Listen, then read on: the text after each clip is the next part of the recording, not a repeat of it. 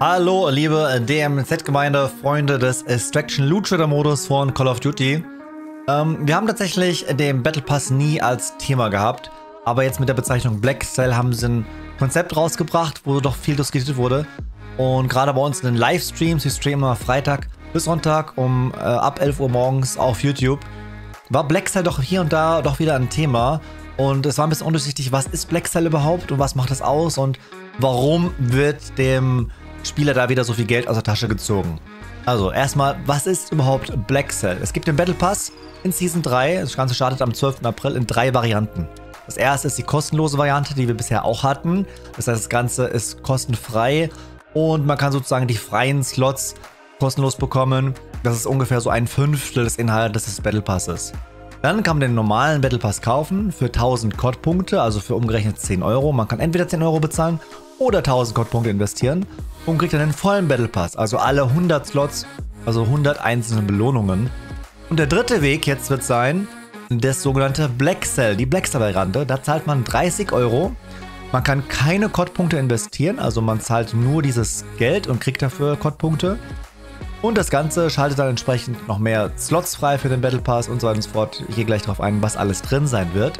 Das Ding ist, dass bis jetzt jeder Battle Pass so eine Funktion hatte, dass man schnelleren Progress hat. Leute, die weniger zocken, die konnten durch die Investitionen dann so ein bisschen mehr Progress haben und hatten schon mal ein paar Punkte freigeschaltet. Jetzt mit Black Cell das Ganze auf 30 Euro und nicht für COD-Punkte verfügbar zu machen, äh, ist ein Riesenpunkt und deswegen zuallererst ganz wichtig, was ist überhaupt drin in Black Cell? Also zuerst einmal schaltet man in Black Cell natürlich den Battle Pass frei und bekommt 20 freie Stufen. Also ein Fünftel des Battle Passes wird instant für euch freigeschaltet. Ihr könnt natürlich selber entscheiden, welche Belohnungen ihr da direkt haben möchtet. Habt also einen Progress, das war bisher immer so. Jede Season gab es so ein Angebot. Und dazu bekommt ihr noch 1100 COD-Punkte, also ungefähr COD-Punkte im Wert von 10 Euro. Diese Tierstufen erhöhen sich, wenn ihr PlayStation-Besitzer seid. Also auf der PlayStation gibt es 25 freie Tierstufen anstatt 20. Ähm, das was jetzt noch dazu kommt, sind COD-Punkte innerhalb des Battle Passes. Hier kann man noch bis zu 1400 Punkte erspielen, also freischalten. Das heißt, mit den 1100 kommen wir auf 2500 COD-Punkte, also 20 bis 25 Euro alleine sozusagen an Inhalt von COD-Punkten. Und das entspricht schon sehr, sehr gut diesen 30 Euro. Das heißt, man kriegt schon relativ viel zurück. Das Traurige ist aber, dass man eben wirklich diese 30 Euro investieren muss und nicht das Pendant an Codpunkten investieren muss. Ich selber habe zum Beispiel 3300 Punkte gerade über, könnte also instant wahrscheinlich dieses Paket kaufen, aber ich darf nicht. Ich muss halt wirklich die 30 Euro investieren. So weit, so gut, aber jetzt kommt es noch ganz dicke und zwar zusätzliche Skins ohne Ende. Also das allererste ist natürlich der animierte Operator Skin. Der sieht schon ziemlich cool aus. Activision hat sich hier viel Mühe gemacht, den Operator rauszubringen und zu animieren, ein bisschen Werbung zu machen. Anscheinend haben sie Geldprobleme, dass sie da äh, den Kunden locken wollen. Nein, Scherz.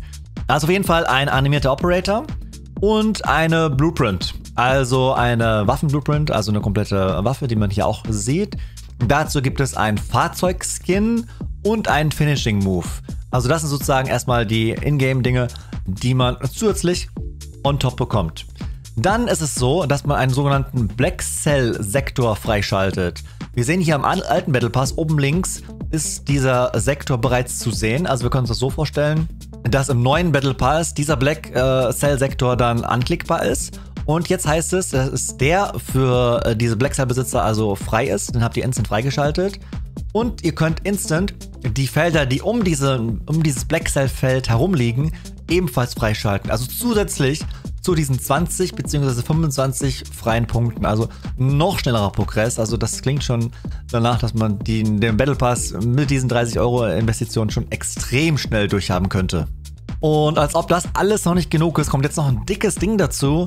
Und zwar zusätzliche Skins. Ihr bekommt sozusagen für jeden ähm, Operator-Skin im Battle Pass noch eine zusätzliche Backsell-Variante. Wie auch immer die aussehen mag, was auch immer das ist. Wobei ihr auf 12 Skins insgesamt kommt. Und das ist schon jede Menge, muss man sagen. Wenn man das jetzt alles umrechnet in Geld, kann man sich selber ausrechnen, wie viel da drin ist. Ähm, gerüchteweise äh, steht hier, dass es ungefähr einen Wert von 70 Euro hätte, wenn man es denn so umrechnen möchte. Jetzt, wo wir wissen, was also in Black Cell drin ist, ist die große Frage, ja, lohnt sich das denn jetzt? Und da kann sich jetzt jeder selber ausmalen. Es ist natürlich erstmal primär wichtig, ob einem Cosmetics überhaupt wichtig sind. Also Skins, Blueprints und so weiter, die ganzen optischen Sachen. Wenn ihr jemand seid, dem sowas wichtig ist, der sowieso Skins kauft im Shop und generell davon angetan ist, die Operator optisch zu verändern und andere Skins auf den Waffen zu haben und so weiter, dann kann so ein Paket natürlich sehr, sehr attraktiv sein. Vor allem, wenn es dann auch so weit geht, dass ihr sowieso diese Pakete kauft, ähm, um den Battle Pass schneller ähm, fertig zu bekommen, weil ihr nicht zu viel spielen könnt, dann ist es wahrscheinlich so, dass es sich noch nie so sehr gelohnt hat wie jetzt, dieses Paket zu schnappen, weil da wirklich, was das angeht, sehr viel drin ist. Wenn ihr aber jemand seid, den solche ähm, Cosmetics und der Progress nicht so wichtig ist, weil ihr sowieso den Progress schafft, man schafft ja den Battle Pass relativ schnell, muss man sagen, dann ist 30 Euro natürlich ein Haufen Geld, vor allem, weil man leider, leider, leider eben nicht diese Cod-Punkte investieren kann, sondern wirklich echt Geld investieren muss, was sehr, sehr schade ist. Also es ist halt extrem unterschiedlich. Wie gesagt, für jemanden, den Cosmetics wichtig sind und für jemanden, der sowieso solche Pakete holt, für den ist es ein gutes Angebot, für alle anderen weiß ich nicht, muss sich jeder überlegen. Und für jemanden, den Cosmetics nicht wichtig sind und auch der Progress wichtig ist, für den ist dieses Blacksell-Angebot absolut nicht zu empfehlen. Wenn man diese 30 Euro investiert, bekommt man natürlich auch keinen Einfluss auf das Spiel. Also man bekommt keinen Pay-to-Win-Faktor oder was. Es wirklich geht hier nur um Cosmetics und um Zeitgewinn. Also äh, das ist natürlich gut so, dass es keinen Pay-to-Win-Faktor hat, um Gottes Willen. Aber das darf man nicht vergessen, dieses Investitionen beinhaltet nichts Ingame-mäßiges, dass ihr irgendwie besser unterwegs sein könnt. Und damit muss man sagen, gibt es natürlich wieder die Möglichkeit für die Kritiker zu sagen, okay, nein, wir boykottieren das Ganze. Absolut verständlich. Das Spiel ist in vielen Belangen nicht in dem Zustand, in dem es sein sollte. Viele Leute ärgern sich, ihr kriegt es selber mit. Gerade im Battle Royale, wo ich Gott sei Dank nicht viel mit zu tun habe. Da ist halt wirklich eine heiße Luft momentan. Und ganz, ganz schwieriges Thema. Und dann solche Monetarisierungssysteme zu bringen, wo du auch wirklich nur Geld investieren kannst und keine Code-Punkte.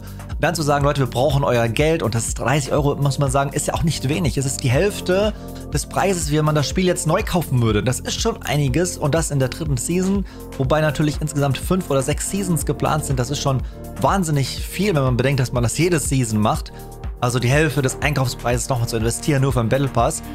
Das kann natürlich einen schon aufregen, vor allem wenn man Battle Royale Spieler ist oder generell Multiplayer Spieler hat, wenig Maps dazu bekommen und so weiter. Ihr, ihr kennt die ganzen Probleme, was es da nicht alles gibt.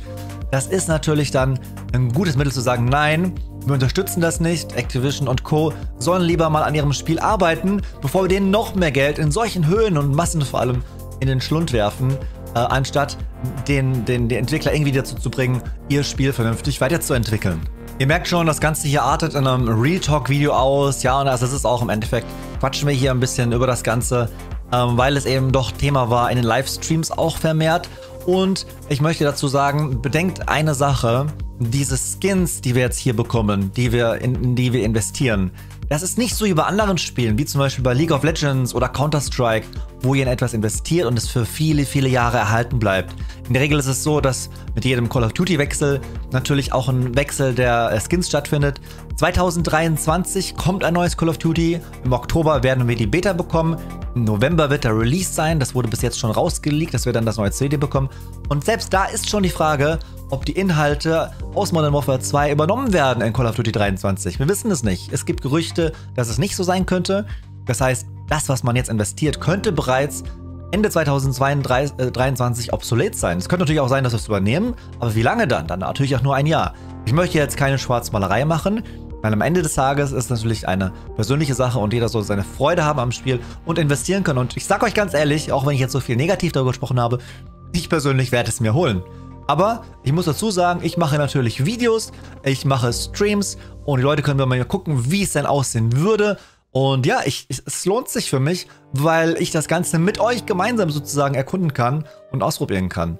Ähm, das heißt aber nicht, dass es sich unbedingt für jeden von euch lohnt. Das ist wirklich eine reine Kosmetiksache.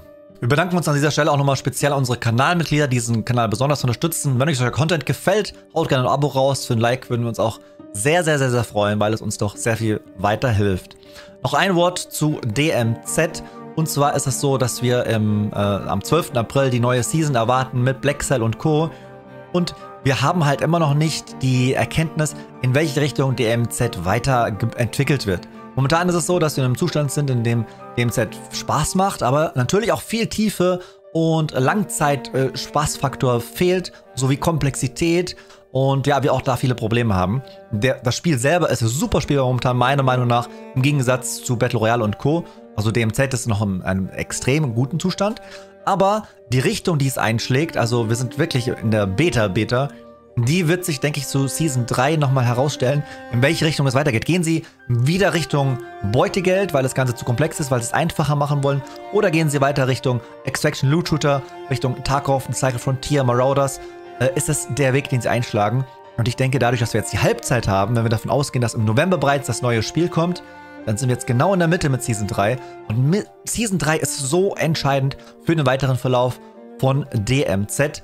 Und ich denke, das dürfen wir bei der ganzen Sache nicht vergessen, dass wir hier eigentlich für DMZ sind und diese ganzen Cosmetics natürlich nur ein, ein Topping obendrauf sind, um noch etwas mehr Spaß zu haben. Aber die Hoffnung und das Wichtige ist eigentlich die Entwicklung in DMZ. Da drücken wir die Daumen, dass die Entwickler das Potenzial sehen und dass sie weiter in die richtige Richtung gehen. Bitte, bitte, bitte, liebe Entwickler, Macht keinen Quatsch an dieser Stelle.